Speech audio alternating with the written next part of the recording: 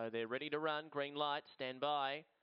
Away and racing, and Relu Barbara's began okay, looking to smash across the field at the start and away quickly. Chopping Spuds will lead, settling down.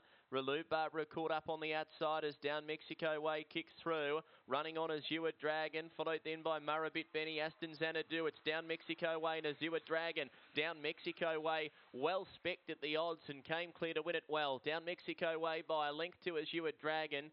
Third Murrabit Benny and then Relu Barbara just uh, couldn't quite get across at the start. Then Aston Xanadu over and away, chopping Spuds last in the run nine.